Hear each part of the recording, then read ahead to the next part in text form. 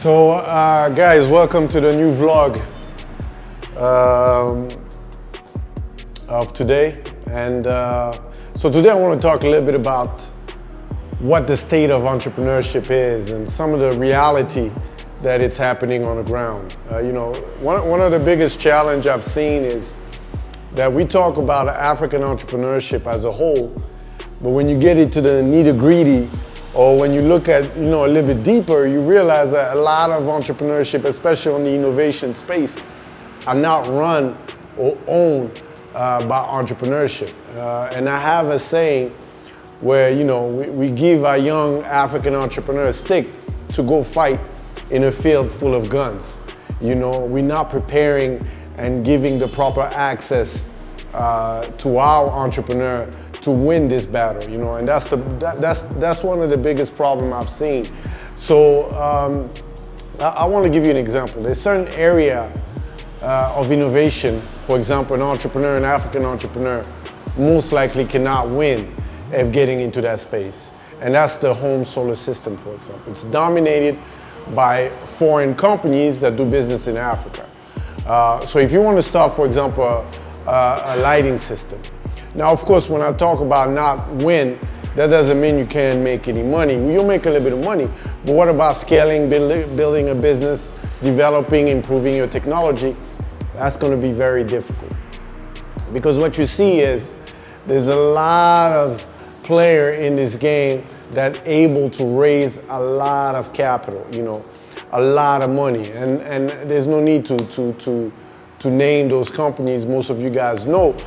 But if you want to start a, a, a home solar system, or let's say a, a lighting system uh, to power a home for low income people, you know, how can you compete with a company that raised 20, 30, 40 million dollars uh, you know, to, to really penetrate that market. So you see that innovation is becoming restricted. And it's, it's, it's really not on the energy sector. It's getting now into the agricultural sector. Uh, it start getting into some key sectors because at the end of the day, capital is still key. You know, if, if, if, if people telling you that you don't need money to build a business, first thing you need to ask them where they're from because something wrong with them. Uh, second question you need to ask them, what business are you talking about? If you're saying, you know, if you want to be a consultant, fine, you don't need a lot of money, you don't need any money. You need your human capital. If it's about, you know, just like a web designer, uh, as long as it's a human capital related. But if it's a product development related, you need capital. You know, the, the, the guys that have enough capital to develop the technology, build their marketing, build their team, scaling and all those things is the one that is winning most of the time. Unless you come up with something extremely innovative that's gonna you know, bypass all those things. But even then, they can copy you, you know, and I can give you plenty example. You know, uh, I, I, I, love the idea how Facebook has been copying um, Snapchat on a lot of functionality. So every time Snapchat come up with something interesting that is scaling, boom, Instagram and, and Facebook are copying that and he undermines Snapchat. It's the same thing in everything, man. So if somebody is telling you um, you don't need money to build an innovative business or a product business, please get rid of those guys because they, they, they're out of their mind. They don't know what they're talking about, you know? So the point of this is how can we still compete in this space? Well, the good news is we know our market best than anybody, you know? We know the ecosystem. We know the communities. We know the culture, how things are going. We, we can develop strategy, business model um, that is very unique. That's the way you can win when you don't have access to a lot of capital, is finding ways through partnership. You know, I love the SDG 17, uh, for example, that value partnership. And that's the way we, you need to do. So a lot of big companies um, that bring business from overseas or technology from overseas, they open offices in every country. So they require to raise capital all the time because it's very expensive.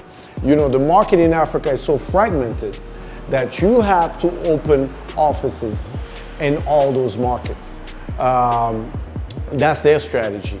And when you do so, You have to get a lawyer, you have to get an accountant, uh, you have to get staffing, uh, you have to know the laws of, of those books. So you have to spend a lot of money on each, on each country. The strategy I always promote is partnership. License, franchise your technology, um, and that's, that's going to be a game changer because now you don't need to raise a lot of capital. But at the same time, you're not gonna you're not gonna collect a lot of the money. You know, you're gonna have to share some of that revenue with your partner. So yes, you'll you'll you'll scale up exponentially, but at the same time, your revenue will be less. But you got less stress, you got less expenses. So at the end, you'll be winning. Um, and and I, I, I do want to um, end with this because I, I, see a lot of uh, I see a lot of value uh, with companies that African companies especially that developing technology uh, in Africa don't have a lot of resources to push those technology, but at the same time look at partnership with big corporation. You know, uh, one, one of the things we've been promoting a lot is how can we collaborate or how can we work with large corporation um, to scale up our business. And one of the best examples we've been using is Microsoft. Uh, our business wouldn't be possible, our business would be too expensive without cloud technology. And we're using Azure Cloud. For those who don't know, Azure is part of is the Microsoft uh, cloud system. And we always trying to showcase how Azure or Microsoft as a whole can help uh, the young African entrepreneurship ecosystem to scale up. Because if we scale up, then we can scale up on our cloud system, we can have more data. Of course, it's, it's, a, it's an economic cycle. Uh, we spend more on Azure, we use more functionality, so it's a win-win situation. And I really, really want to engage most of those companies, not just Microsoft, but all those big companies, the Facebook, the Googles that want to do business in Africa. Uh, how can you empower the entre entrepreneurship ecosystem in Africa and focusing on African entrepreneur. How can you guys help us get to the next level? Because the ecosystem in Africa for entrepreneurship is different than Europe, Asia, and, and America. It's, it's not yet mature. It needs a lot of economic empowerment um, in that space. So one of the areas is investment. All those big guys should have investment branch for African companies. Um, a second thing is, you know, how can you how can you help them uh, uh, scale up their business? For example, help them find partners in those areas, uh, in those other countries. You know, help them scale. Uh, those are the area I think will be the future of partnership between big corporation and young, innovative entrepreneurs in Africa. But another thing what's going to happen in a lot of innovation uh, in Africa is there's going to have to be a lot of consolidation of uh, technology and consolidation of companies. Uh, if you look at the ecosystem right now, man, that's something that blows my mind. I don't get it. FinTech, for example, there's five, six, 10, 20 FinTech per countries now doing almost the same thing. Yeah, some of them are tweaking around, some of them have a tweaking te technology innovation, but let's be honest, it is the same thing. You know, how to digitally uh, uh, uh, bring fintech technology into the market. What I don't get is why companies are now merging together or consolidating. You know, you see now telecom companies consolidating because now the market is becoming saturated you know, and that's what's going to happen in Africa. A lot of the technology will have to consolidate. Some of the young entrepreneur in fintech or any other technology that has a lot of player in the ecosystem needs to figure out how to way to merge, to either come together or buy out, uh, you know, uh, or you're not going to win. Again, you have some fintech company right now raising 40, 50 million dollars and those are the guys gonna win if you don't be careful. So if I were you and I'm a young fintech company, I would look at the whole ecosystem and find some of the players that are doing the similar work and find a way to merge so it can be bigger, number one. Number two, it'll be much better for you to raise capital. So let's say you merge with three guys uh, from three different countries. Now you're automatically in three countries instead of one. You know, now it's not an easy thing to do. You know, it's very difficult. Another key thing I, I, I think that will help uh, the ecosystem uh, of funding for African entrepreneur is the stock uh, uh market we're trying to we're trying to develop across Africa.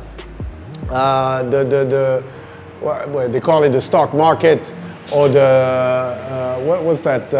I mean, they have a few. They have one in Kenya. They have one here in Rwanda. They need to develop products for startups where we can go public or get public capital. Of course, that we need to develop a structure. We need to develop uh, uh, uh, some rules and regulation around it, but that is needed. You know, again, the traditional stock market is not a good fit for startups. Uh, if you look at the, the NASDAQ, for example, in the States, that's usually the, the top 500 companies in the world that uh, apply to that. But for Africa, we need a way to raise capital for startups, uh, uh, for young companies. So imagine, I'll give you a perfect example. Imagine you're startups, you have to be at least in business for uh, two years. You have to already have generating revenue. You have to have a customer base. You have to have a proof of concept. And you allow this young entrepreneur to uh, get capital from the public uh, just like bonds does, you know. And now people can invest a thousand uh, uh, franc or a dollar for those, uh, the equivalent of around a dollar uh, to, to a hundred dollars. You know, now you have access to the public to raise capital. That could be a game changer for an, for an ecosystem that is lacking uh, investment funding and, and, and, and tools for people to raise capital. That could be a game changer. So we need to stop copying what the West and, and the East uh, Asia are doing and really create an ecosystem from the ground up that is really catered to the young African entrepreneur, period.